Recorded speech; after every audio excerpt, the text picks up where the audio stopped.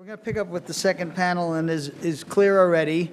Um, We could write an entire volume just about the history of assessment and testing in the United States and every one of these topics. But um, with, um, with this panel, what we start is a set of discussions where papers have been uh, written about particular contexts of, of the use of assessment.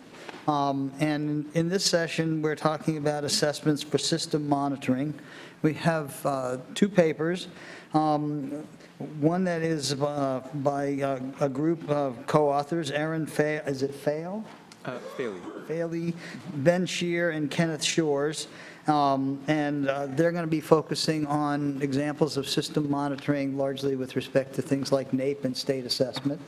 And then um, Henry Braun and Judy Singer are going to be looking at it from the perspective of international assessments. And Jack Buckley has graciously dis- uh, agreed to serve as a discussant. The way we're going to do this session is, um, is Ben will present um, their paper, and then um, Henry and Judy will present their paper, and then Jack will discuss the two together. Um, So I'll turn it over to to Ben. Great. Okay, yeah, and I've got this. Uh, Great, thank you. Good morning, everyone. Good morning. It's uh, great to be here. I think I speak for the three of us when I say that we're uh, very honored to have been invited um, and look forward to learning a lot and getting feedback uh, while we're here and hopefully uh, feel that we can share uh, some interesting um, insights and ideas to the volume. Uh, Oh, right, I've got to start this. Uh, Great. So uh, I'd like to just have a few acknowledgements. Uh, So as mentioned, this is a uh, paper that I've uh, co-authored with Erin and Ken, uh, who are here as well. Uh, And we've benefited greatly some, from some feedback of sort of mentors and advisors of ours, Sean Reardon, Andrew Ho, Ed Haertel. And of course, thank you to the organizers of the volume for bringing all of us together here today. So you may be wondering why uh, only I am up here. Uh, We just sort of decided among the three of us that it would be better to have one person up here instead of try to do three people in uh, 18 minutes.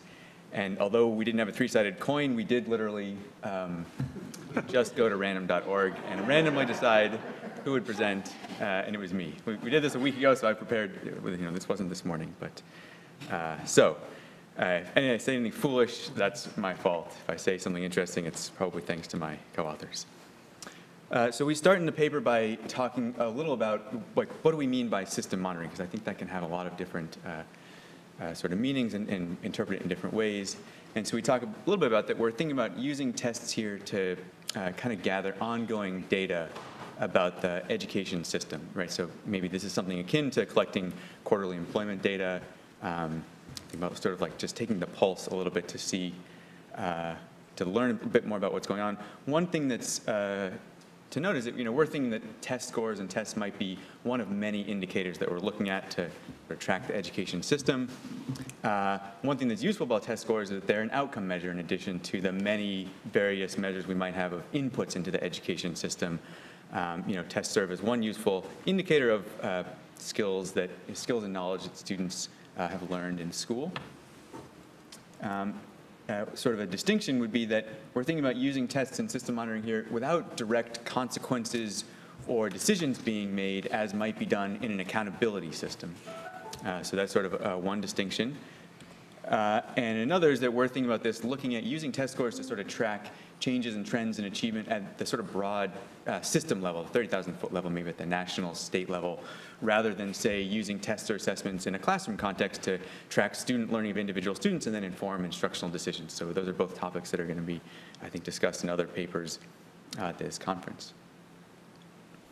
Uh, So then we tried to step back and think a little bit about, so uh, on the one hand, you can sort of make, I think, the case that, oh, well, having more data about the education system is better.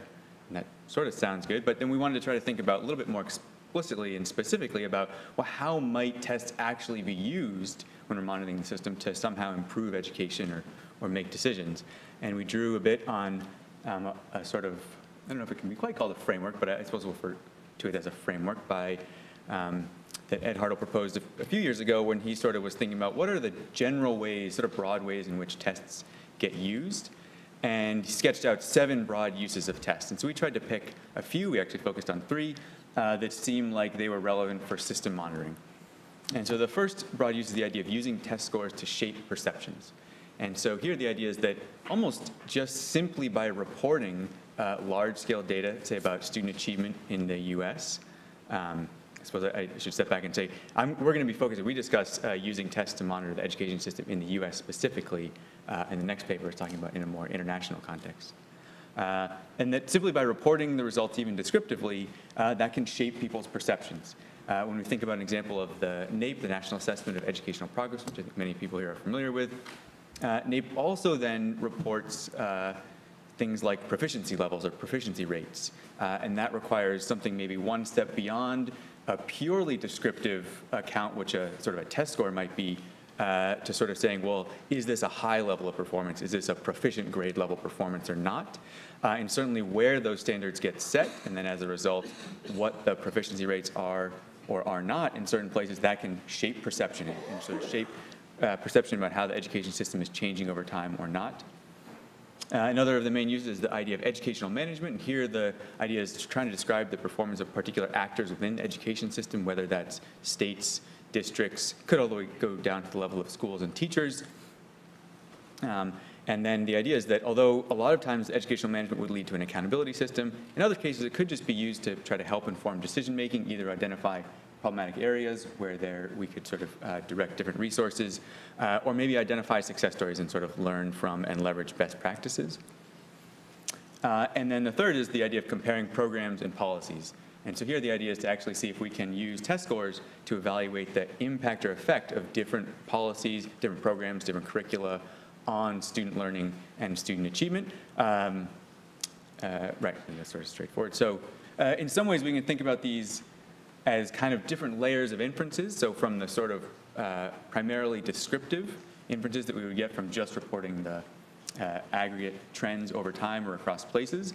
Although I will say that I think a lot of the questions raised in the earlier session, although we don't address in this paper, we take very seriously that you know you could question what is on these tests. Are they measuring sort of the right thing? Uh, and that's I think worth worth thinking about as well, even at the sort of the initial descriptive layer.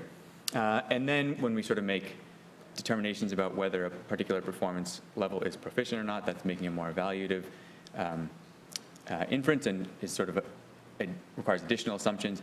And then if we sort of try to evaluate the effectiveness of different programs and policies, we're now trying to make causal inferences and explain variation in scores, so making yet additional layers of inferences. Um, and these can sort of feed into what's probably familiar with many people here, the idea of an interpretation or use argument, that sort of every use or interpretation of a test score should be evaluated, should sort of be clearly stated how is this test score meant to be used, what sorts of effects are we intending it to have, um, and then think about what evidence there is to uh, support those uh, inferences and uses, and also importantly to attend to what are maybe some potential unintended effects. And so uh, even I think in the case of testing for system monitoring where there may not be direct consequences from the results of the uh, scores. Certainly, uh, because they're reported publicly and they can often influence uh, policy decisions, there can be ways in which perhaps they could lead to a narrowing of the curriculum, incentives to try to um, artificially inflate scores, um, or, you know, a big concern, I think, is sort of looking at scores and looking at variation across places and leaping to causal inferences without maybe all of the necessary uh, assumptions being warranted. Uh, right, and so, of course, making more, uh, stronger inferences about scores and explaining the variation makes more assumptions. Uh, and then one theme, I think, uh, I forget if it was um, Michael or Amy was mentioning sort of looking forward, you know, uh, I think one of the themes that will come up a bit in some of the examples I'll show in a moment is the idea of how, what we can get from linking and combining different data sources. Um, and so we can think about that both in the sense of linking and combining different data sets of uh, test scores, so data from different tests, as well as combining, you know, it's sort of just much more feasible now to combine very large databases, whether it's um, information on the context of education and demographic data or test scores. Uh, and that when you look at test scores within that broader context, you can often get much more informative uh, information from them, particularly for uh, system monitoring. Uh, so a couple of uh, illustrations that we include. Uh, we start by talking about the National Assessment of Educational Progress, or NAEP. Um, I'm sure many of you, probably all of you, are familiar with this, perhaps more familiar than we are. And um, but the reason we highlight this is because it was a test that's designed intentionally for system monitoring, to have the role of sort of monitoring student achievement in the US, but to be low stakes and to be independent. Um, and, uh, right, so it's sort of sometimes referred to as something like a large-scale group score assessment, which I think many of the tests and assessments that um, Henry and Judy will be talking about are, in the sense that it's intended to produce descriptive data about achievement at uh, high levels of aggregation. So it doesn't report scores for individual students or even individual schools. Um, and although that would be possible, sort of the test isn't designed to provide good information at those levels of aggregation. Um, uh, but it does disaggregate by different demographic groups, which has been sort of an important part of the mission of NAEP is to report on uh, the relative achievement of different groups of students. Um, uh, it's administered, you know, currently, as many of you know, primarily in fourth and eighth grade, in some cases in 12th grade, and the primary, or sort of most often reported interpreted scores, I think, and what we'll focus on here, are in the domains of reading and mathematics. I won't go spend a lot of time on some of the different um, design features, but we did want to sort of highlight and list a few of the things that uh, are sort of unique to NAEP relative to some other large-scale testing programs, in particular state accountability tests, which we'll also talk about. Um, uh, and because it's designed really for this um, sort of large-scale aggregate monitoring purpose.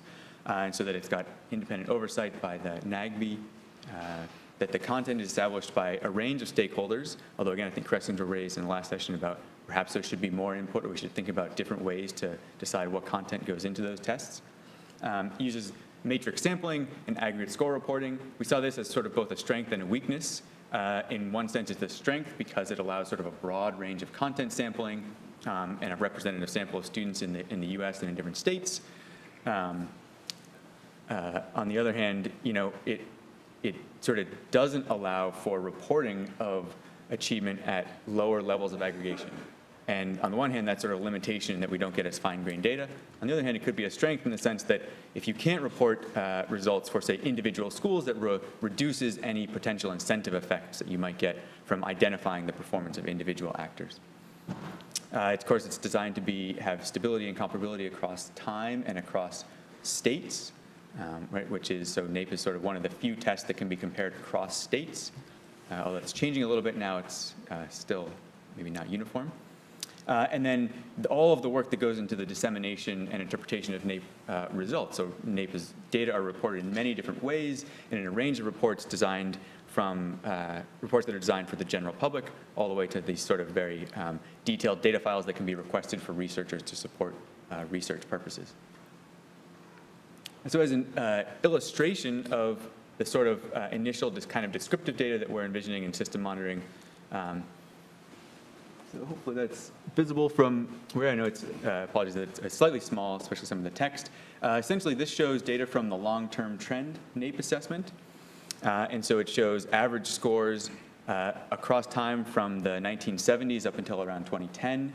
Uh, and each panel is a different age of students in different subjects. So the top row of plots show average uh, math scores, the lower row average reading scores on the long-term trend, and every line is a different subgroup of students within the US, one of the main subgroups that NAEP reports for, so separated by um, student gender and then student race. And so this allows us to sort of make inferences and track changes in uh, overall aggregate level achievement at the national level uh, across long periods of time right? Then to try to understand, you know, what's happening, you know, we can see that the trend is generally upward, although it's not uniformly so between every period of reporting. Um, and this is sort of what we're imagining as that initial kind of um, pretty uh, purely descriptive information about student achievement. Uh, but NAEP also reports things, uh, it's referred to as the nation's report card, which is sort of an implicitly evaluative uh, way to report the results. And here, um, it's not the particular results that we're looking at, but so much is the idea that here the, what's being reported is the percent of students that are proficient in different uh, grades and subject areas, right? And so now we're not only describing performance, but uh, also the performance is being evaluated. Is this proficient grade level performance or not, which sort of we thought goes one step beyond trying to simply describe what students know and are able to do, but then uh, also evaluates that. Uh, okay, so right? Sort of, certainly a, a, strength of NAEP, as I've just mentioned, is that it's comparable across time and place, so we can compare performance across states, we can look at trends in performance and achievement across time. Um, but as I also noted, NAEP is only administered in a limited number of grades and years, and primarily only reported at fairly high levels of aggregation. So there are now some very large urban districts where uh, NAEP results are reported, but that's a relatively small uh, portion of districts in the US. Um, on the other hand, if we sort of wanted to know more about finer grained variations in patterns of achievement at the national level, well, nearly every student does take a state accountability test uh, pretty much every year, at least in grades three through eight, and then occasionally in high school, uh, in math and in English language arts every year, and in some other subjects in other years. So there is a lot more data on student achievement uh, that we have. Uh, on the other hand, it's not comparable across states, and even in some cases when states change their tests, not comparable across time. So with the new Common Core uh, consortia test, there are now some ways we might be able to compare across states, uh, but not across all states. Um, and that seems to be changing every year, uh, sort of which states are, are administering which tests and if they're really the same. Um, so the next uh, sort of illustration we use is shows how, to, how uh, we've been involved in an effort to link these two data sources in an attempt to try to get sort of finer grained data about the variation in achievement across the US um, that we think could sort of be useful in supporting those uses, particularly the educational management and comparing programs and policies. That if we have more data about the variation in achievement uh, and we can combine that with information about different policies and practices, uh, we could reach more detailed conclusions. And the initiative that we talked about is called the Stanford Education Data Archive, or, or SEDA. Um, and essentially, we use uh, the NAEP data from every state to link state accountability tests onto a common scale. The accountability, state accountability test data comes from the NCES's EDFACT database, and so at this point, I think represents something like approximately 200 million standardized test scores across the country for many years. Um, and by linking them with NAEP, we uh, are able to report a measure of achievement uh, for nearly every district in the U.S. from the years 2009 through 15 and third through eighth grade math and English language arts, um, and reported separately by student race and gender, so similar to the plots that I showed earlier. Um, and then also in the database are uh, a rich set of district level demographic data and covariates from the Common Core of Data and the census. Uh, and I think it's important to note that these measures are perhaps in some ways best described as measures of educational opportunity across the U.S., um, rather than, say, direct measures of school or district quality, because so many things factor into the relative level of achievement test scores. Um, uh, many of you probably will just want to kind of squint at this uh, because of what we've done here. But this is, uh, this is just sort of an illustrative map, and it's the average NAEP, scale, uh, NAEP score for every state across subjects, years, and grades. So it's not a terribly uh, meaningful to interpret any one state sort of uh, level there. The point is that when we have NAEP, with NAEP data, we can look at variation across states, right? But what you'll see there is outlined in the map are the boundaries of all U.S. school districts. And so with SEDA, when we combine the NAEP data and the accountability test data, we can then start to look at variation across districts within states, right? And so we can see that still there's a lot of variation across states, but there's also a lot of variability in achievement within states, but across districts. Um, that can then be studied to try to learn more about how the education system is functioning for different students and in different places. Um, and uh, so then as an example, because uh, SEDA also includes covariate information, uh, we can look at, so this shows the relationship between on the x-axis median family income in a school district and average achievement on the y-axis on this sort of NAEP linked scale. And I've, we've highlighted here uh, all of the blue points represent districts in California and the orange points districts in Massachusetts as just two examples uh, to see that although there is a fairly consistent relationship between family income in a district and achievement, which I think many of us have seen before in test scores, that relationship isn't necessarily uniform across different states and districts. And so we can study variation. We've also included in SEDA measures of the average change in achievement from third through eighth grade. And so we can look now here on the y-axis at change in achievement from third to eighth grade relative to income. And here there's less of a relationship and it's sort of more mixed across the two states. And so this prevents, uh, presents yet a different picture of how the education system is functioning for different students um, in different places. I'm running a bit short on time, so uh, I? So we then uh, go through and, and, sort of try to very succinctly summarize and just point towards a couple of examples in which people have used either NAEP data or SEDA data in conjunction with knowledge of variation in programs and policies and quasi-experimental methodologies to try to infer or make causal inferences about the effects of some of these different programs and policies on achievement test scores uh, using either NAEP or SEDA, right? And where we point out that sort of the public availability of these data make these sorts of endeavors possible. Uh, So I won't talk through all of these now uh, in the interest of time, and instead jump to the sort of conclusion. So one is that um, it seems that there's a lot of value in having something like NAEP, this sort of low stakes, uh, it's this large scale comparable measure of achievement over time and across places. Uh, The second, sort of looking forward, that, that really where things head are, it seems to be that when we try to link and merge some of these databases, we can get a much more detailed picture and we can better interpret, maybe in some cases, why do we see the variations in achievement that we see. Uh, The third is that, of course, as we go about linking and combining these different data sources, we're making a lot of assumptions along the way. And so we've been involved in, and there are other papers coming out that, for example, look into the validity of the estimates provided in SEDA. Do they really measure the things that we think they do? Uh, But that's an important thing to attend to. Uh, And then finally, of course, mentioning, as others have, the strengths and limitations of test scores as indicators. They represent only one of many uh, things that we hope the education system uh, will uh, try to sort of teach students, or as one outcome that we hope the education system will lead to. Um, But at the same time, represent sort of an important piece of what schools are trying to do. Uh, That's all I have for now. Great, thank you.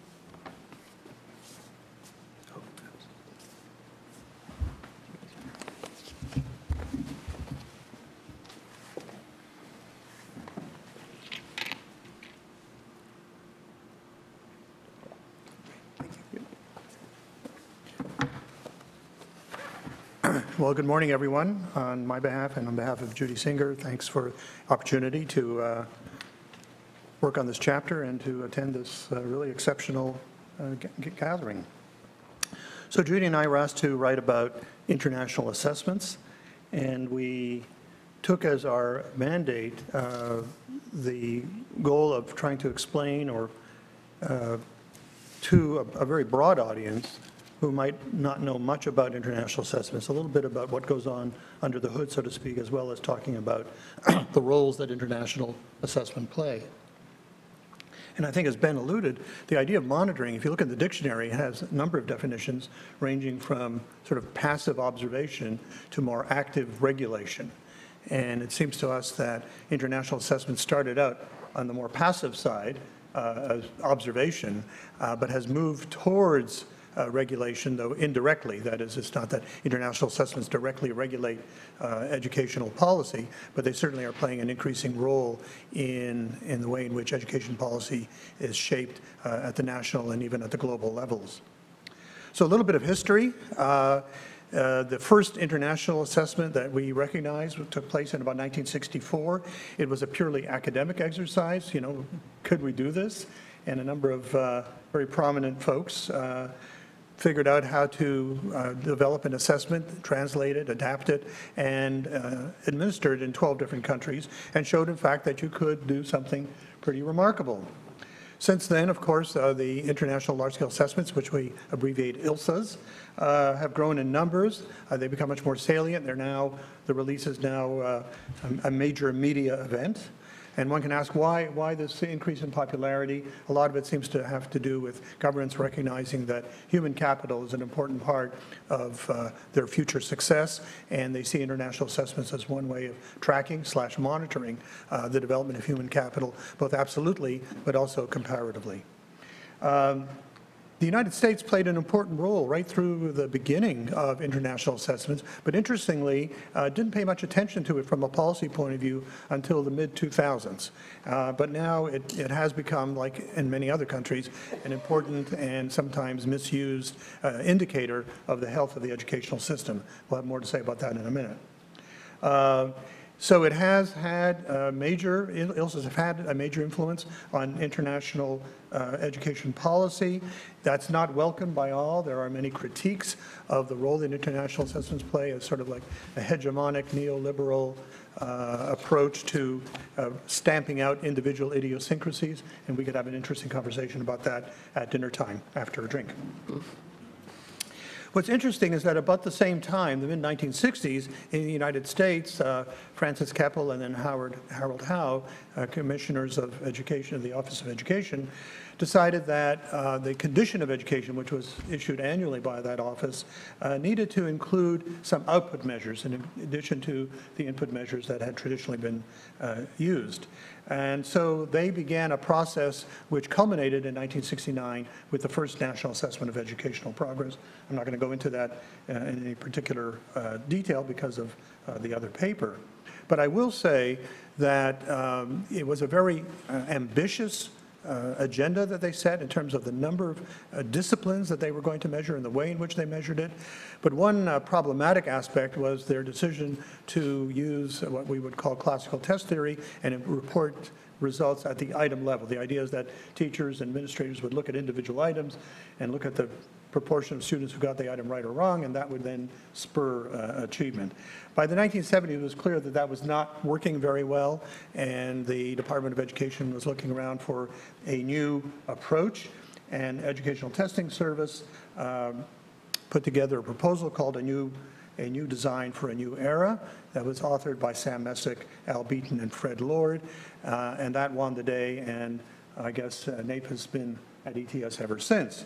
What's important for the ILSAs is that the technology that was um, presented as that new design involving some combination of item response theory, latent regression, and other number of other sophisticated measures uh, really changed the way in which NAEP was constructed uh, and administered and reported. I'm not going to go into any detail, but that is discussed in the paper itself.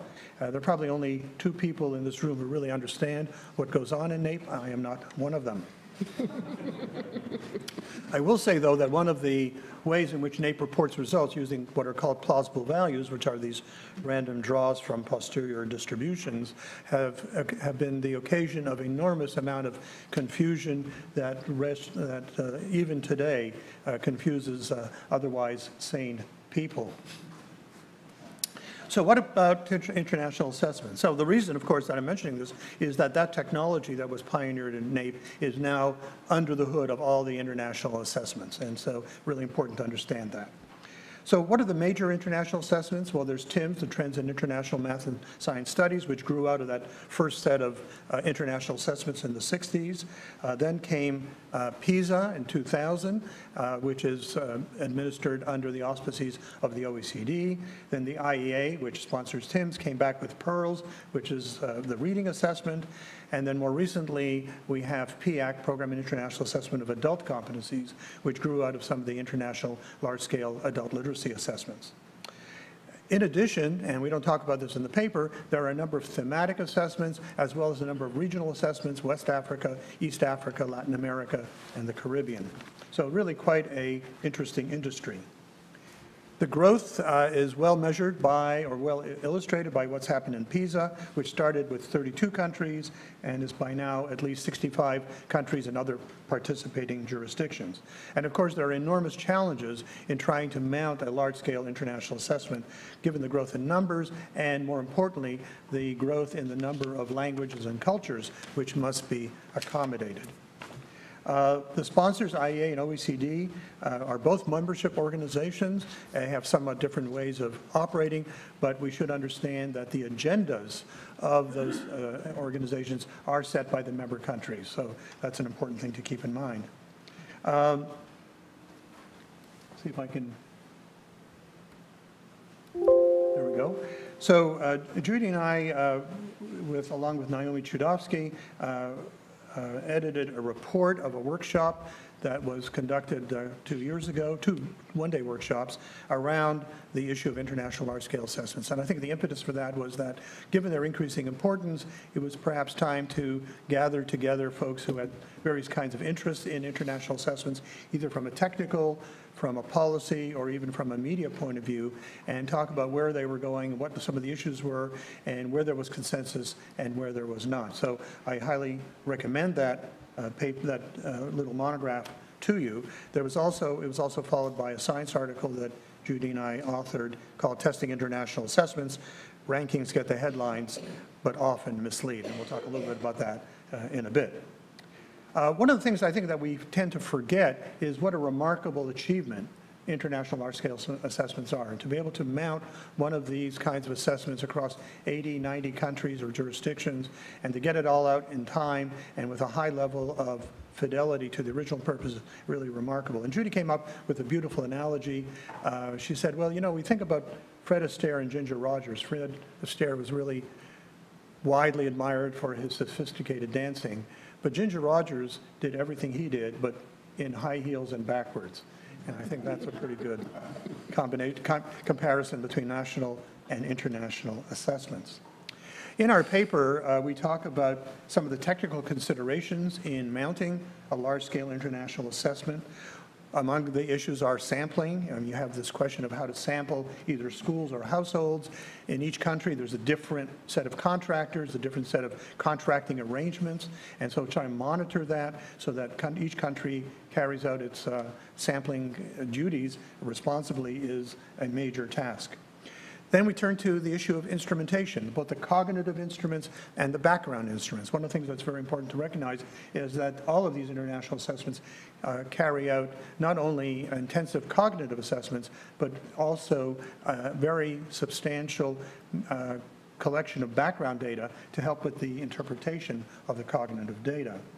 Uh, This cross-cultural equivalence, which is sort of the goal of these international assessments so that we're measuring the same thing irrespective of language and culture. Of course, is an ideal that is never uh, absolutely achieved, but we seem to be coming closer and closer, but of course there are still concerns, and that is one of the challenges to the validity of the international assessments is, is this question of cross-cultural equivalence. The psychometrics, I've already alluded to it, it's very complicated, uh, trying to, particularly as in these, all of these assessments, we're trying to measure a number of cognitive domains uh, in a very restricted amount of time, as well as all that background information. And so there's a high, high degree of modeling dependence that goes on in order to be able to report scores for all students on all of the domains, even though no student actually takes assessments in all of, in all of those domains. So it's really the magic of statistical inference that carries the day. Uh, all of these large-scale assessments also generate uh, very substantial technical reports. They put together uh, databases for both public use and, and uh, restricted use and support secondary analysis. So it's a really a major, major industry. Where we are now is in an interesting transition period. Uh, In 2012, PIAAC pioneered digitally based assessments, or what we'll call technology-based assessments. Um, The idea there is that as we move into a technology-infused world, our assessments should follow suit, if not lead in some ways. And PIAAC, in fact, led the way, showing that it was in fact possible to mount a large-scale digitally based assessment in multiple countries, multiple languages, multiple cultures. Um, One of, the- one of the advantages of moving to digitally based assessments is the opportunity to develop adaptive assessments. And PIAAC had a very mild level of adaptive uh, design, but that's going to only increase as we become more comfortable with the idea of digitally based assessments. The other assessments, TIMSS, PIRLS, PIAAC, are all moving in that direction as well, and by the early 2020s, I think pretty much everything is going to be digitally based. One of the ways in which digitally based assessments play an important role, of course, is in helping us to do a better job in assessing uh, the leg, what I'll call the legacy domains, as well as new new domains such as problem-solving in technology-rich environments, online reading, and the like. They also help us think about how to do better quality control, both in real time and post hoc. There are probably some concerns about the move to digitally based assessments. In the short term, uh, added cost of actually running two different assessments, digitally based and paper-based, and also the uh, ongoing concern about uh, introducing constructor relevant variance, particularly because of all the different devices on which uh, students or adults can be taking uh, these assessments. No, wrong way? Hello? Or just do this? No? This one? I think it's to go back. Okay. Have done that, I'm sorry. Uh-huh. There we go. That's, thank you. So in, in our uh, report, we listed seven purposes of uh, large-scale assessments. They're not exactly the same seven as uh, Ed Haertel suggested. And what we do in our, in the report, and what we do to some extent in the chapter, is discuss the um, feasibility of carrying out these different purposes using large-scale assessments. We argue that uh, the two most important and most likely uh, uh, concerns that are dealt with in large-scale assessments are transparency and disturbing complacency. Those are at the top. At the bottom is causal inference, which Ben has already described. And we then go on to discuss some of the possible uses and misuses of large-scale assessments, ranging from uh, the question of, you know, can we do better than other countries, to the question of, can we, uh, or should we describe our goals for our country's education in terms of moving up the rankings. And we argue that the latter is a very problematic way of thinking about things. Given the time that uh, is remaining, I'm going to turn the microphone over to Judy, who will talk about dissemination and recommendations. Thank you for your attention. So Henry has alluded to rankings, and I would say that the community that disseminates ILSAs is obsessed with rankings, and Henry and I are obsessed with their obsession with rankings. Um, Rankings are the standard way in which ILSA results are disseminated. There are lots of other ways. There are lots of reports and lots of pages, but if you pick up a newspaper article about these ILSAs, it's going to be about the rankings. And um, the rankings are problematic for a host of of reasons, Um, but they include some reasons that are tied in with issues with NAEP in terms of looking at status versus change, but also some issues that are unique to international assessments. So, for example, the definition of the target populations can differ across the countries. Exclusion of special ed students, for example, is, is a prime example of uh, differences across countries. The amount of uh, effort that families and in some cases countries put into private tutoring uh, differs substantially across countries. So to make the claim that it is what's going on in schools that's contributing or causing the test scores can be quite specious when you've got these kinds of differences. That's over and above cross-country equivalence. In addition, rankings actually depend on which countries participate. And the participation of countries even within a particular family of assessments, varies across the assessment periods. So rankings can actually go up or down when scores go down or up. And so this kind of obsession with being number one, which is what this is all about, the arms race, uh, is, we think, rather counterproductive. Um, We had Andreas Schleicher at uh, the launch of the workshop report, and the one message he made very clear was OECD is not getting rid of the rankings. It, um, I'm going to put words in his mouth, it fuels the publicity that, uh, that the OECD gets for PISA, et cetera, around the world. So we're sort of on a mission uh, to, to counteract that. The, um, you can see this in media coverage. I'll just put up a few headlines here. It's all about slides and rankings. Well, actually, the slides and rankings are not necessarily, sometimes are accompanied by increases in test scores. Um, And it's just, uh, and this obsession with the Asian countries. Britain wholesale just committed $50 million to using, um, translating Asian countries' math textbooks into English. They did a small pilot, and now they're rolling it out in half of the country's schools, as if it's the textbook that is actually leading to the top performance of the Asian countries. I mean, it's, it, it, I see a lot of people laughing here. It's absurd, but nevertheless, it happens.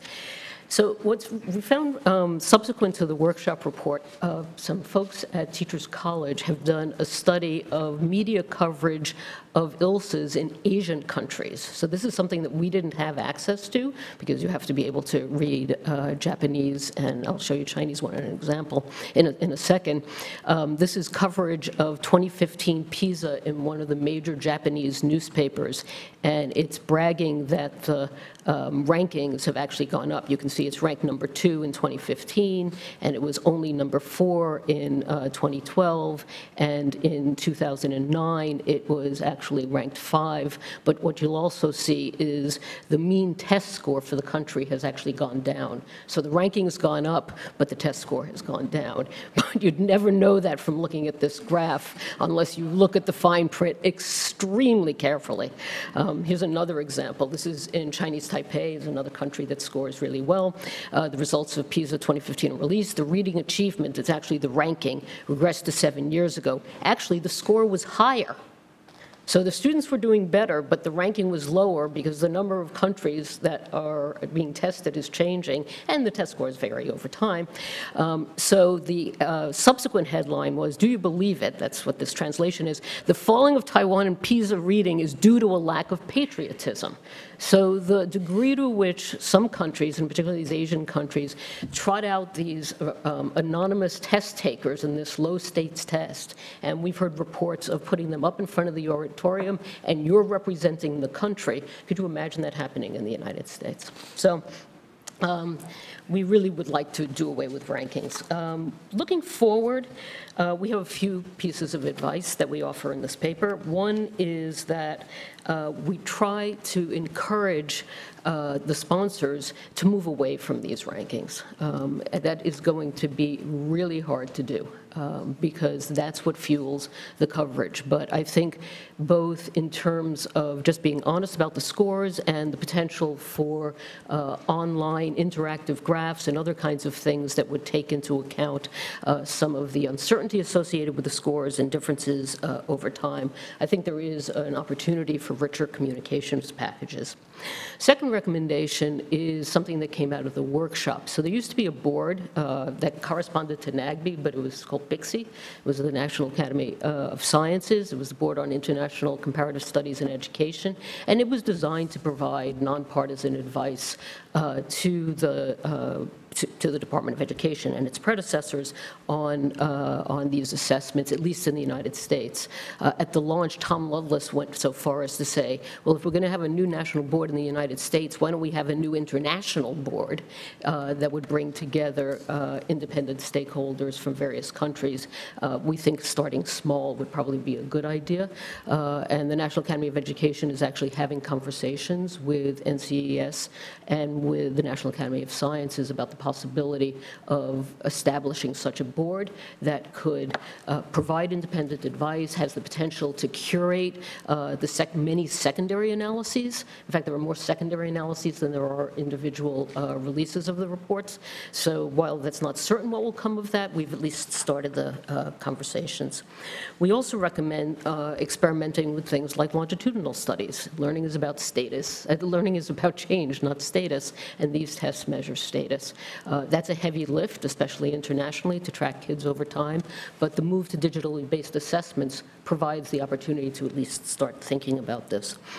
Um, We close our paper with a sobering note, okay? And I think this sobering note applies not just to our paper, but uh, to, in fact, th- this entire enterprise.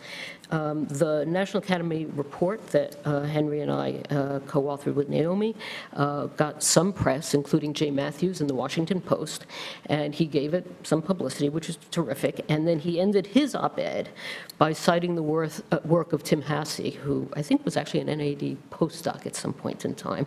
And I'm going to quote from his book in 2002. Politicians define the public good largely in the terms espoused by those who voted for them, the stand of their political party, and by those who fund their campaigns. Evidence about what works is usually well down on the list of factors influencing policy. So it's just this sobering reality that we here are quite concerned with the reliability, the validity, and uh, of these assessments and what kinds of uses they have, whether they are being used for the uh, purposes for which they were designed, whether they are being used for other purposes, but ultimately, the degree to which we actually influence what happens in policy uh, may be um, less than we might have in mind. But hopefully volumes like this that try to get the message out are one way of at least con- influencing some degree of the audience, uh, that these are well worth doing. We totally believe that ILSAs are well worth doing, but if they're well worth doing, they're well worth doing well. Thank you.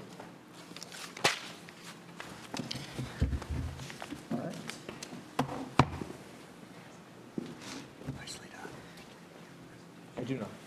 Nope, just in here, well, here. Great. So uh, I was actually originally asked to be a discussant on a different session uh, of this meeting. And unfortunately for our, our, this panel, uh, I was moved, and I say un- unfortunately because I am uh, possibly sort of the worst nightmare discussant uh, on this topic because I am I'm passionate and very opinionated on the- the topics in both of these papers. So I, I want to caveat my comments by saying in advance, uh, you know, in many cases, they're based on, on personal experience and recollection, and that may be erroneous, and I take full responsibility if I misremember something. But if you looked at my marginalia for reviewing these papers, the drafts, they're scribbled with things like, that's not the way that happened, or all the way from on one end of the continuum all the way to amen, probably on, on the other. Uh, and so thi- this is sort of a, a, an area of, of education, educational assessment that I, I have a lot of strong feelings about. So first, I should say, um, you know, I think this, this is, I, I love the organizing framework of how assessments or tests uh, have been organized into categories, and, uh, you know, for the entire endeavor, for the entire volume. And when it comes to monitoring tests, which I do think is the right way to think about this bundle, uh, this, this is a fantastic introduction to the, the concept of a monitoring test and how they're used. And I, as I said uh, to Jim earlier this morning, I wish I had these papers like 15 years ago.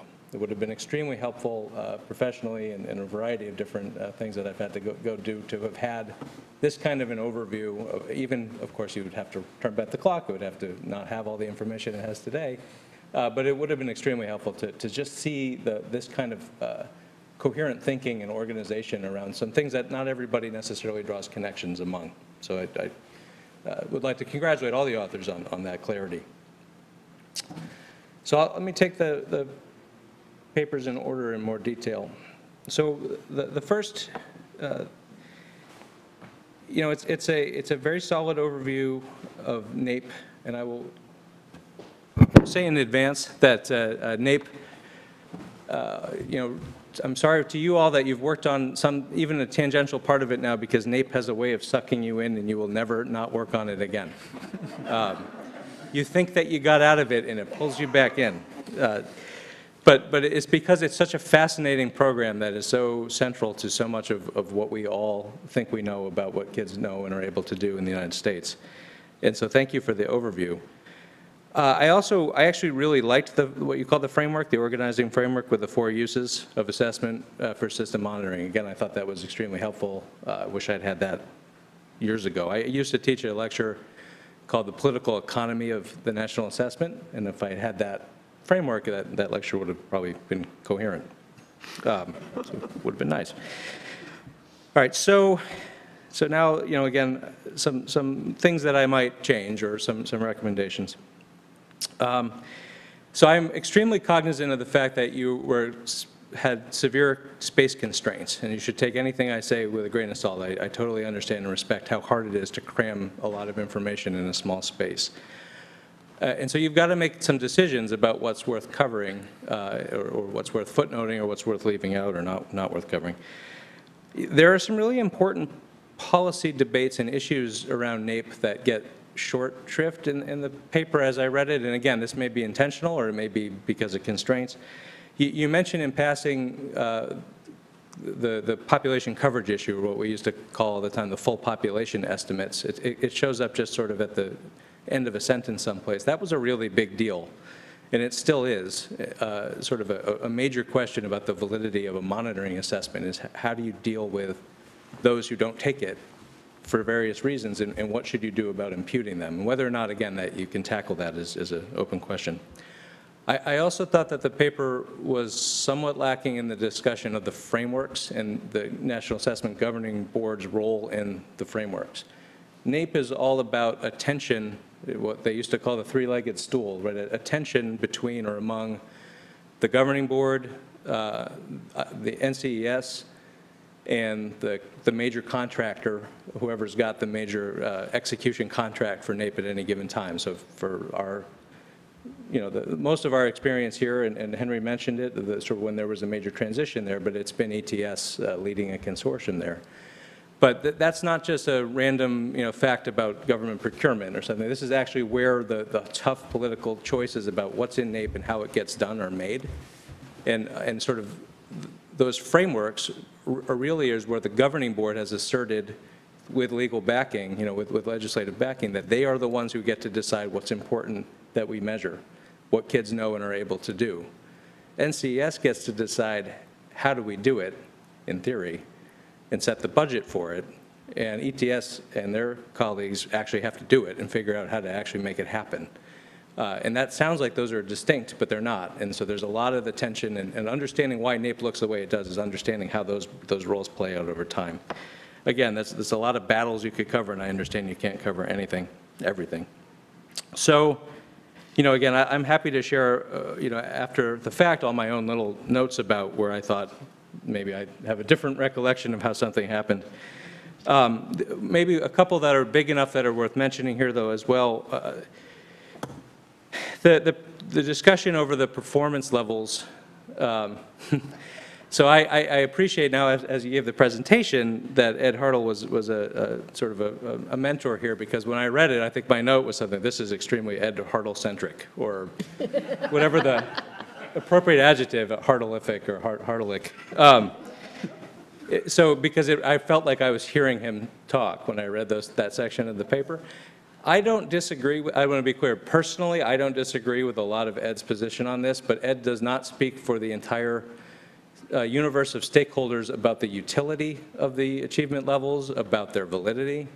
Uh, And it's, it's an again, an important political debate within the NAEP world that you might want to get a second opinion for that section. Um, Again, my- I, I tend to fall on the Ed side. This is not a personal thing. It's more like a, but I've been beaten up by, by the other side and the other sides.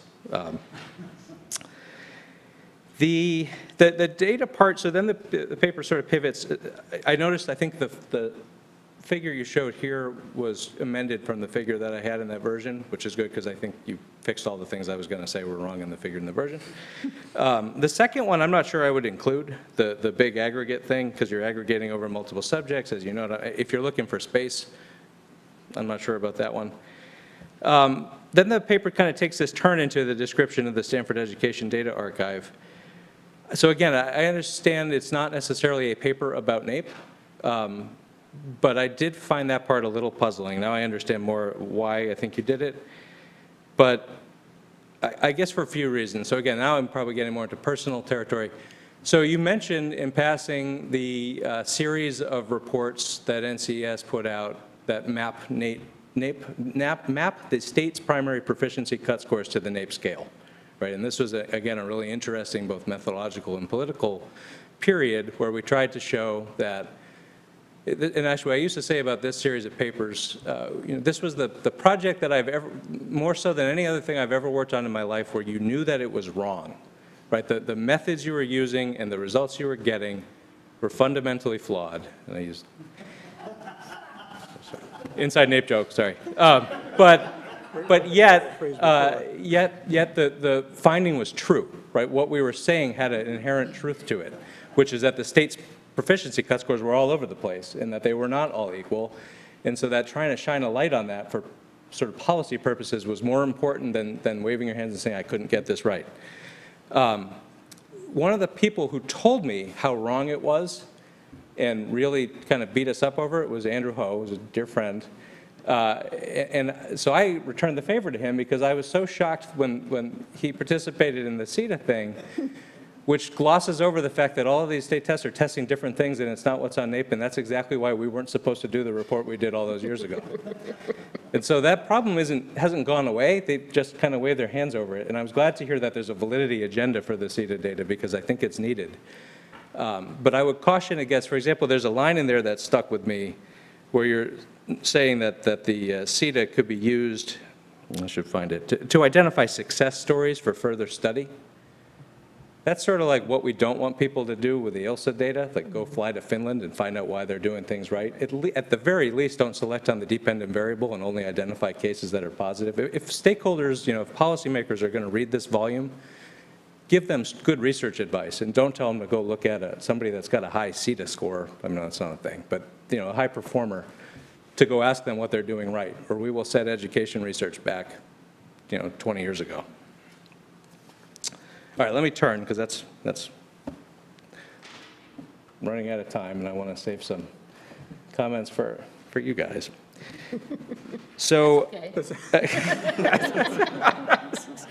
So, uh, so again, really solid uh, historical overview. I wish I had it years ago. I think I had to learn all that history the hard way by talking to the people who were there for many dinners.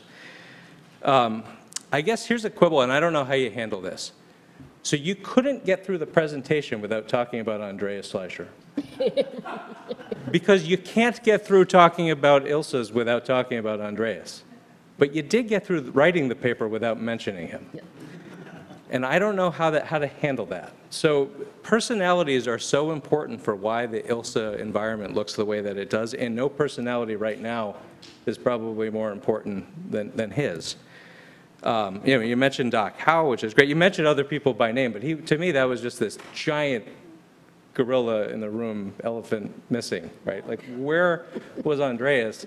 And, and, uh, you know, what would I have said? I don't know. Again, I have strong personal opinions. I totally agree, and I'll come back to the point at the end here about ranking, but we wouldn't have that problem without people pushing it, and those people aren't nameless.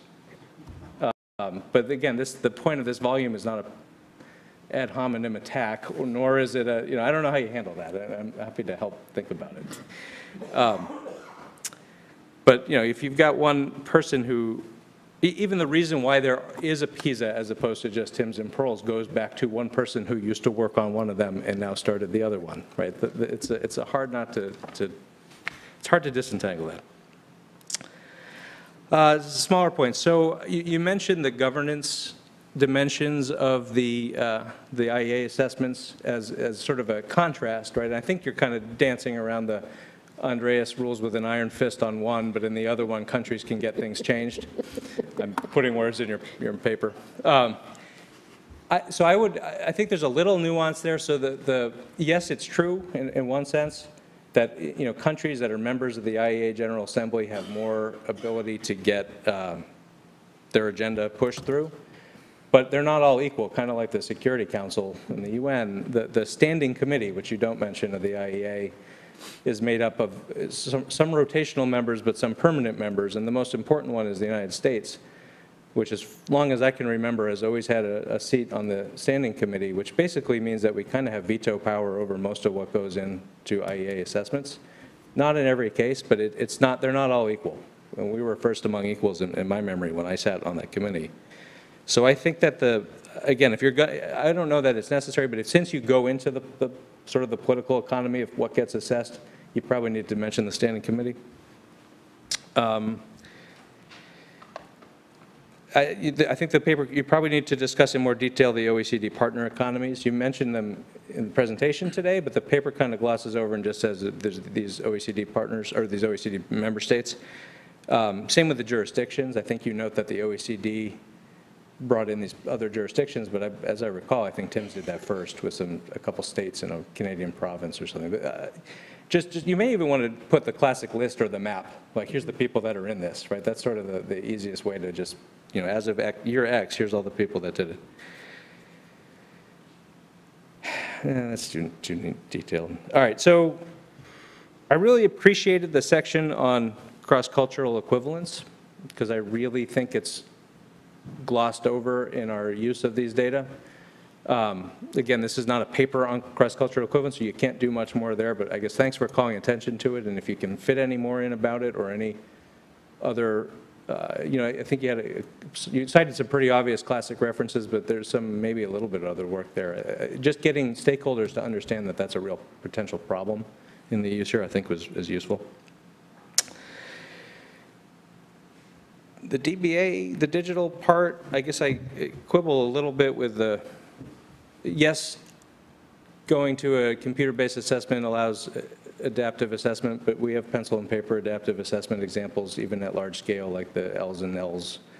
Um, You might want to come up, with other things that it allows or did allow, like, like, and I think you mentioned a little bit, but this will come back to another point at the end.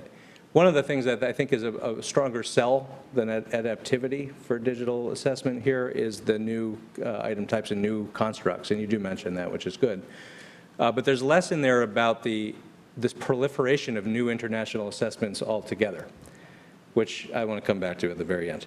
All right, so then you turn to the section what are ILSAs good for, which is great. In fact, my, my note, I copied my own margin note over, my note said, "This section is a necessary tonic for the endless stream of questionable inference coming out of, in particular, the OECD." So I'm quoting myself, but I, I, I wanted to get it right. I, I absolutely. quote you. You can quote me quoting myself. Um, I, I, I really appreciated that section. The, the, I I would, I might quibble, though, with the order of your best uses. You put the best, sort of the- what these are used for table. Because I felt like a little bit of the discussion there conflated validity for those uses with the normative idea of what's best, what, what best uses are. Like, it- these assessments, these tests may be good for something, but that thing may not be good. Or it may not be good for something, but we wish it were because we want that thing. And, and sort of, there's a normative dimension of this, I don't mean in the assessment sense, I mean in the, the things we think are good sense. Um, So for example, do, we- do you really think that ILSAs are validated for disturbing complacency? They do it. But, but why? Uh, I- And I would probably elevate your number three and four over number two. I mean, when I think of what are these good for, they're good for description, they're good for trend first. Then maybe they're good for transparency, depending on how the country uses the data. And then they have this awful side effect, maybe, which is that they disturb complacency, unless you're the person that wants a hammer to disturb complacency, and then that's what they are good for. But I, I guess that, that, that's what I'm trying to get at. Um, I love the international examples of disturbing complacency, while we're on that subject. Um, It's great to see those all in one place. I feel like those are anecdotes that people always tell, but, but I've never seen them all written down together, and it was really helpful. Uh, Maybe the England example, which is probably the most powerful, I- I- I'd take it, it's, it's, it is disturbing complacency, but it's also just a great example of bad inference. Um, So you could use it in a different class. Uh, You know, selection on the dependent variable, uh, you know, it's- with apologies to Steve Glazerman, who coined the phrase misNAEPery for bad uses of NAEP. This is a great misPISAry example. Um, eh, That's too detailed. All right, so rankings, let's, let's end there. Um, So I, again, I completely, personally, professionally agree with your position on the misPISAry use of rankings, league tables, um, probably for most of the same reasons. I do think that the first two reasons you cite, that student performance depends on environmental and social factors, and that uh, cumulative achievement matters, are both true, but I don't think there are reasons why rankings are bad. They're, they apply equally to any yield study, right? Any, any, like PISA is a yield assessment of 15-year-olds at a point in time. Um, Even if you took the rankings away, PISA would still be limited because student performance depends on environmental and social factors and- and cumulative achievement matters. The, the rest of your points, though, that, that uh, they don't, usually don't incorporate uncertainty, that the country set varies, that are absolutely true. And uh, anecdote, so when we used to present the rankings, when new PISA came out, or new TIMSS, uh, so if we presented them to, to Arne Duncan or to, to policymakers in the department or, or the White House, we actually would produce two sets of rankings, and one was whatever PISA was going to say, but one we would take out all the countries that had changed. So we would say, how's the U.S. doing relative to the people who only were in it last time? Which is, to, I mean, the graphic's not up there anymore, but I'm looking at it, the Japan example. Um, And it, it was, it was always remarkable. It was a really big shift. It, it- helped them understand why they were seeing some of the changes, and we would use that to prepare their, them for what they were going to get in the media. Um, I guess I would say to both papers, I really appreciated your comments on the limits of causal inference, you know, the limits of these data uh, for, for use of causal inference. I guess unlike the, the, here, unlike the NAEP paper, the ILSA paper uh, discusses longitudinal data, and there's a good reason for that, because NAEP, of course, is, is uh, prohibited by Congress from collecting longitudinal data.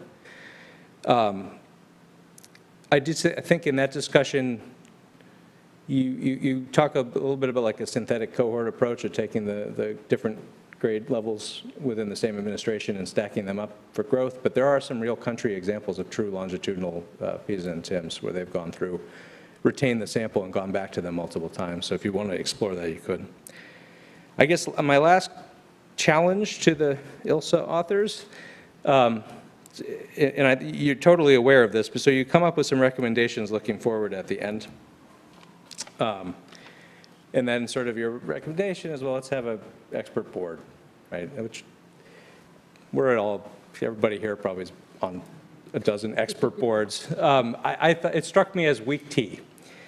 I, I, but I don't know what to do better, but I'd love to do something more in their face than just another expert panel to be ignored. But I, I'm happy to think about that.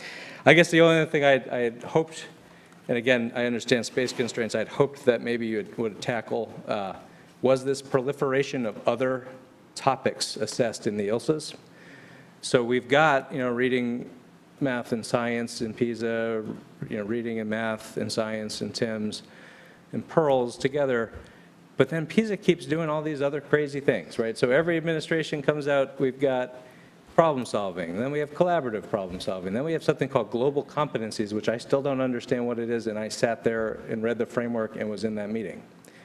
Uh, Now they've pivoted, financial literacy snuck in there, and then we pivoted again to have uh, creative thinking, which I actually was on the expert panel trying to talk them out of it, but, but somehow got associated with it. My problem with all these things is, is the constructs are poorly defined in many cases, and they don't stick with them long enough to actually make them work. In contrast to things like NAEP, where we have agonized over how to measure, what to measure and how to do it for decades. Um, They just, whatever whim of a new policy idea that we think global competency is something we should be measuring, get thrown in there. So I wouldn't mind, if you're looking to take shots at some of the international regimes, I would, I would take a shot there too. All right, let me stop. Thank you.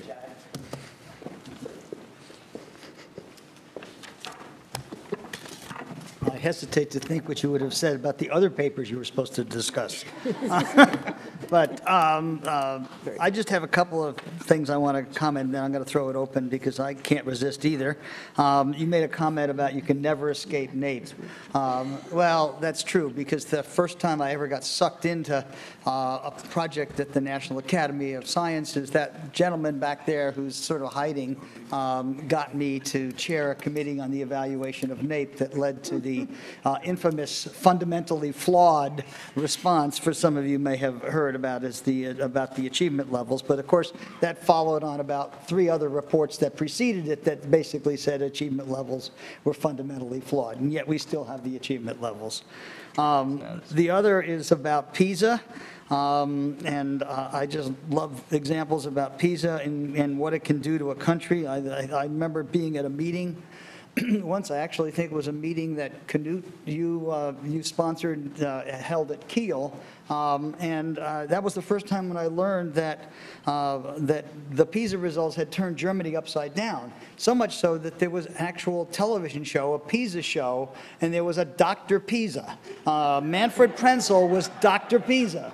Um, I just like, I thought somebody was pulling my leg, but that was, you know. um, Uh, uh, You mentioned also about PISA. uh, I just, don't get me started on their assessment of collaborative problem-solving and problem-solving and creativity and whatever else. But you, I think you said it well, and I do think it bears some conversation in terms of, of, you know, uh, one-off constructs that are poorly defined. Um, I just want to say one other thing about rankings and ratings. I happened to be the dean of Peabody at the time that the U.S. News and World Report first started issuing rankings for graduate schools of education. Some of us were a little upset with some of those rankings, including the fact that places like Harvard always came out on top.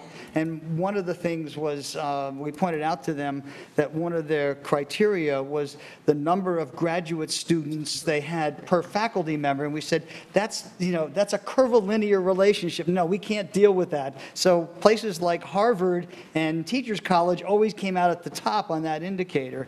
And so we said, well, maybe you can change the indicator. And they said, no, we can't deal with something that complex. The other thing we learned was that um, the only way they can sell their magazine is the rankings, and the way they do that is by tweaking the, the values of some of the indices from year to year, because if, if they didn't, there'd be nothing, things would not move around. Um, So, so much for rankings. uh, In, in, so that's my, that's my little diatribe. Um, So I'm going to toss it open for questions, comments from, from the audience. We have time. And the microphone is here. Um,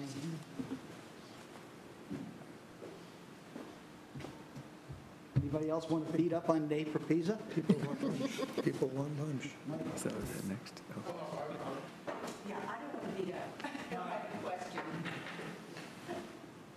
So, um, I'm, I'm looking at, to, because you did mention inclusivity, um, and one of the big issues, of course, is who participates or doesn't participate in both NAEP and, and specifically kids with disabilities.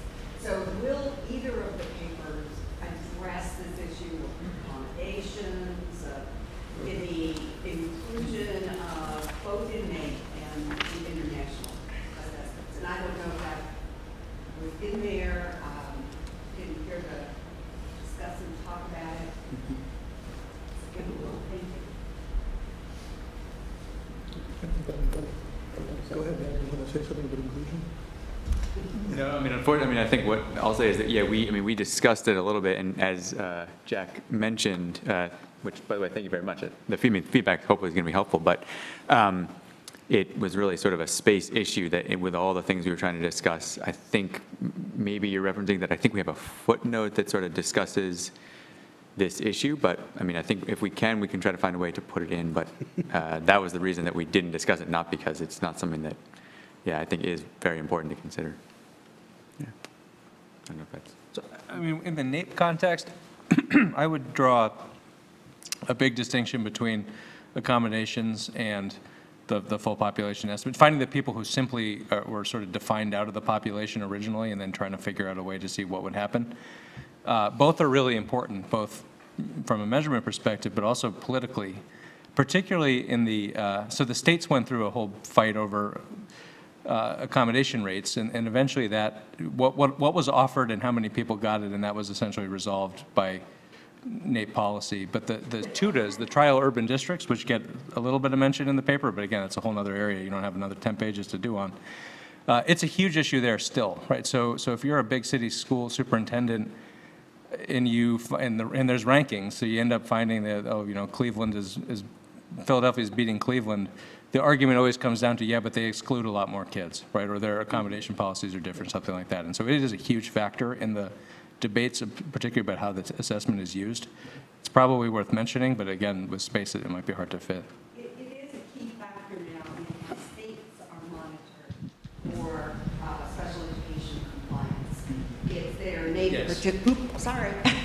It is a key factor um, in the accountability at the state level, is their NAEP participation rates, and states can be moved up or down um, in the special education accountability. So I, I just, uh, it's the point of the, the impact of the, on the system and the political decisions more than the technical aspects of No, I, and and that, to that point, I mean, that was a specific request by the GAO, which forced a report to use NAEP to try to shame the states about their, uh, their, their exclusion rates, which became a long-running series of reports, which is still used for that purpose. I mean, you could do a whole nother paper here about a political, you know, political uses within the United States of these data or something. but- And although not about accommodation for special needs, internationally, there are other exclusion issues that pop up. So in, uh, when um, Shanghai was entered in as a jurisdiction into the testing in- in PISA, uh, students who were enrolled, if you were a migrant from the countryside, you couldn't get access to the schools. So huge fractions of what we would think of as age or grade eligible students were excluded by, from the Shanghai data, and not surprisingly, the rankings were higher. And then you also have differential dropout rates for the older age assessments across countries. So in a lot of low-income countries, you've got kids who are just not in school, not necessarily because of special needs or, or particular exclusion, and those vary tremendously across countries. So it's, it's cross-cultural equivalence in the instrument, it's cross-cultural equivalence in the sampling, it's cross-cultural equivalence across a whole range of things that are not equivalent across countries. Eric, Rick? So uh, sometime in the past, I asked Henry why rankings were bad. Um, And I'm still not convinced that rankings per se are bad because the use of rankings to say whether the schools versus some other factor is more important is obviously bad, but so is the use of achievement levels. Um, And I don't quite understand the, what you would want to do. You give an ILSA, you aren't allowed to tell whether Poland is better than the US, but you do what?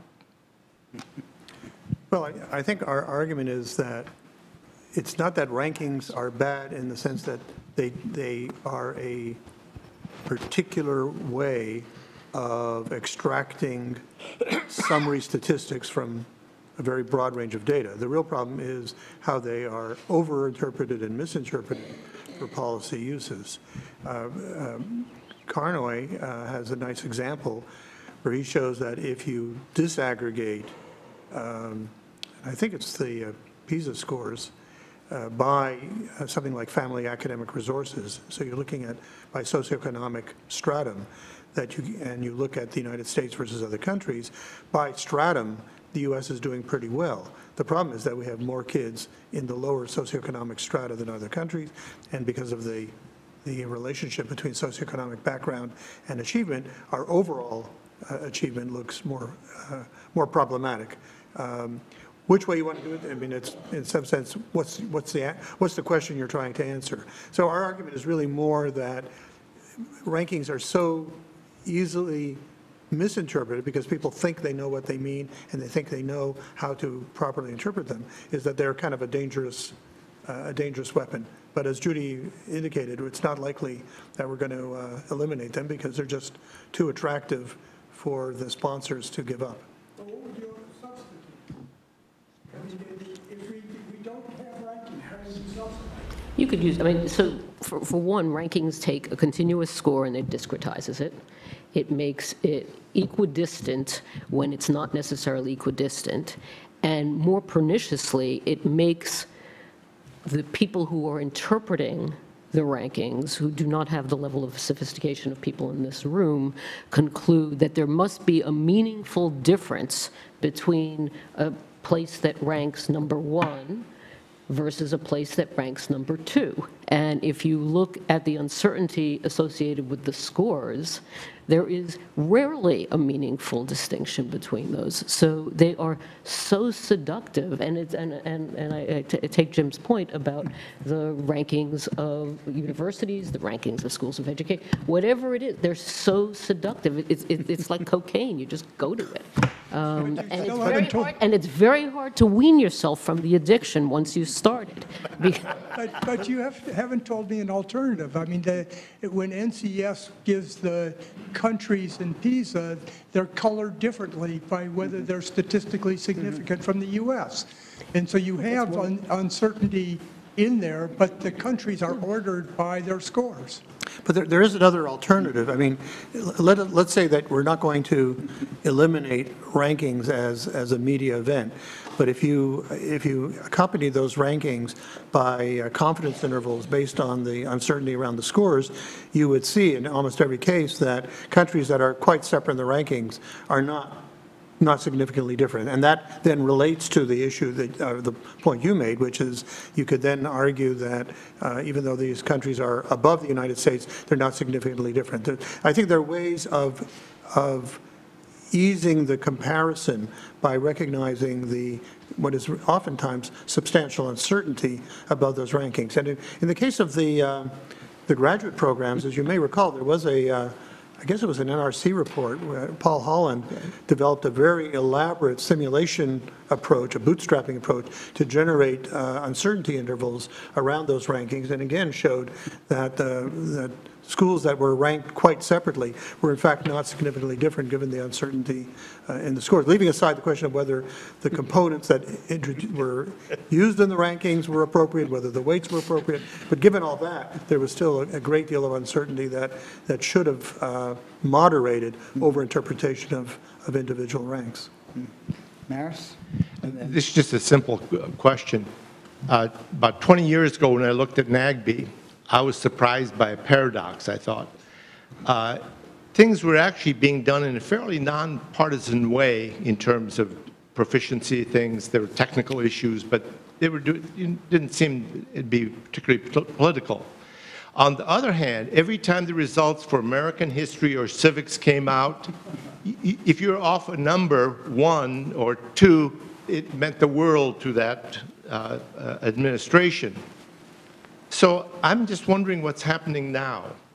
If, for example, when we eventually get a new president, and he or she uh, is looking around and, and worrying about the American history or, or civics, particularly civics, and wants to get the numbers up, what's to prevent them from putting on the NAGB governing board individuals who see this in a different way and say, look, this isn't just about professional historians' idea of American history, it's about the average citizen and the various things, and suddenly your score is going to rise of proficiency. Is that possible? I don't think Ben can I answer think I may one. defer to some, uh, So I- I'm trying to understand the mecha, so the mechanism would be, you know, the uh, Secretary of Education, with the president's blessing, appoints some new governing board members who have different ideas about the framework. Totally possible. They rewrite, that's absolutely possible. Then they get together, they put out a new framework in civics or in history. Uh, You know, the good, yes, that, so in, the- in a sense, like mechanistically, that's possible. You know, Congress could step in and be more prescriptive and say, no. Um, And that there are some examples of, particularly under, you know, when Lamar Alexander's staff wrote something, I mean, you know more about this than I do, right? Some of these examples where, where Congress weighed in on the content. We see it more in some of the other data collections, but, but in theory, yeah, that could happen. I, I think compared to other assessments, though, NAGB is, is small c conservative in terms of not wanting to change the frameworks. And, and one of the checks on them that I've personally, you know, lived through is, you know, the old saw, if you want to measure change, don't change the measure. What NAGB wants to do is change the measure all the time, but also keep the trend. And in, in 20, uh, 2005 math, at NCES, we judged that they had changed math too much and we had to break the trend in the 12th grade. And if you look at that report, the 12th grade main math data point for the nation is one. There's one point, and it's set at the mean or whatever the scale. We rescaled it and recentered it. And then it moves on from there because we told them, no, you can't have that both ways. So one of the things that a, a good NCES should do in, in that event is stand up and say, all right, you have the legal authority to change what civics means, um, but I'm going to tell you that that also blows up any trend you have, so your administration will be out of office by the time you get a second data point. Is that what you want? That's what I would tell them. It would be interesting to see if they listen. The reason I say that is that people who disagree with American history standards and, and that seem to have no difficulty of stirring up uh, almost unanimous vote in the Senate to uh, back them. It's, it's a plausible scenario. Carl? One of the, One last question, and then we'll get summary comments from the panel and then go to lunch. sure, one of the mysterious aspects of the horrendous Atlanta cheating scandal was that um, they had done well on NAEP, um, even though there was significant evidence of cheating on state testing, and the Council of Great City Schools was quick to advance that argument. Has any, is anyone any closer to solving that mystery other than you can cheat on NAEP also? I, again, this, I'm happy to talk about that offline, because I'm not even on this panel, really, but the, the, We're going to make you an honorary member. I, I spent a lot of time on that question. co-author, and then I I- can I'm not going to on write this. progress. We actually have, it- it's available uh, for the, because it was put in the public record of a presentation that I gave to the governing board about stepping through why I still believe to this day, but why then I believed that Atlanta Public Schools did not cheat on NAEP. Okay. uh, And yet did cheat on their state assessment. And that unfortunately, it's not a neat story. It's possible to have both student achievement grow and also be cheating. Um, Sonny Perdue was on the board at that time, and it was a, it was a very rancorous discussion, because he, he pulled, a- it's a long story, It's- it's a dinner time story, but, but that, that sli- that slideshow is available, I mean, because, because Ed Week or somebody put it out right, right after we presented it. But for, for a lot of reasons, in in fact, I mean, I still believe this to be true. They did not cheat on NAEP during that period, uh, but they did, so the score growth was real. The NAEP score. The NAEP score growth was real, yeah. So I'm going to ask that we just sort of wrap this up, and final comments from our panelists. Ben? Ben? Sure. Well, I think first, uh, thank you to Jack for um, the feedback. I think this is very helpful and uh, led to a good discussion. Um, uh, I don't think it necessarily makes sense to go through uh, point by point all of the things, uh, the points that you raised, but uh, certainly I think it- it'll be helpful to think about how we can sort of maybe cut down on certain things and and add in a couple of the, a little bit more balanced perspective on some of the achievement levels, um, discussing the the government, gov- governance uh, accommodations and exclusions. Um, And I think then the, the last question about, you know, is this the wrong way to get the right answer or a good answer? Um, You know, we could probably discuss a little bit more as well. And I think for us, it's sort of a tension between um, constructing something like SEDA, where we get uh, very approximate answers uh, or data about questions I think a lot of us feel are important, as opposed to saying, well, we can't do this perfectly, so we should do nothing at all. And I think that, that it is sort of a constant tension, but uh, perhaps one we could discuss a little bit more. So, but again, thank you all for listening, and, and thanks, Jack, for your comments. Henry? Yeah, thank you, Jack, also uh, for your comments. And I will just say that having done some of the work on uh, mapping state proficiency standards into the uh, NAEP scale, I would quote John Tukey, who said, "An approximate answer to the right question is better than an exact answer to the wrong question." So, now, of course, that doesn't mean that we had an approximate answer to the right question, but I'll leave that aside.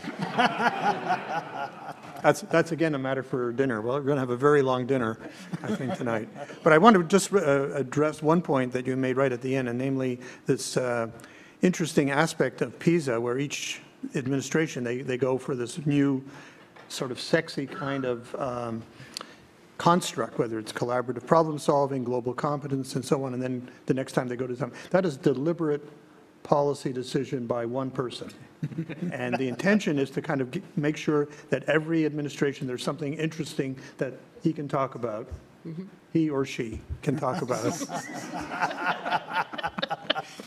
um, to the press, in addition to the legacy. So it's a, it's a deliberate policy decision and has very little to do with uh, the, the quality of the assessment itself. And, and again, I- you know, if there were really a fourth or a third uh, domain that was really interesting, then it would be worth having a trend line and seeing what's happening. That's not the point of that agenda. Judy? Last shot. I talked too much already. All right, so I'll turn it back over to you. Yeah, exactly. Thank you.